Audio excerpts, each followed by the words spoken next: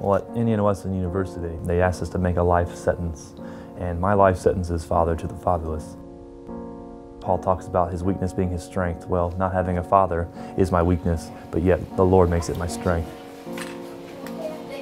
Not really having a father, I felt really obligated to, to be a father to the fatherless and um, to take care of children that have broken homes and to just nourish them in the words of Christ in my actions.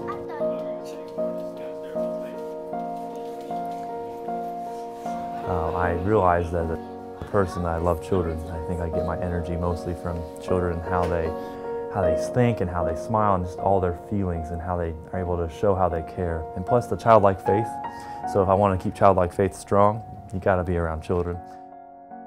Being a teacher, you have so many personalities you have to manage.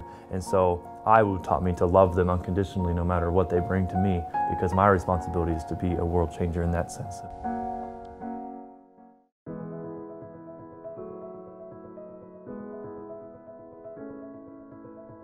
When I wake up in the morning, I honestly look forward to impacting someone each and every day. I started working and I landed my first corporate job. Realized as I was working in corporate that I wanted more. So I settled in to Indiana Wesleyan and, and got a business management degree. The devotions and the class environment was different for me.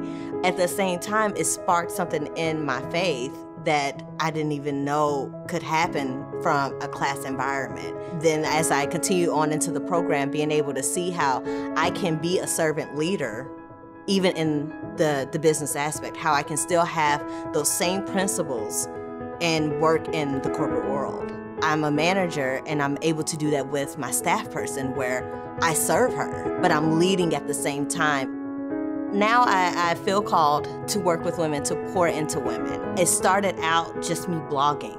And the next thing I know, um, speaking engagements came, radio came, and all of these different things just from being obedient. And, and now there's this pool of women that I get to pour into all the time.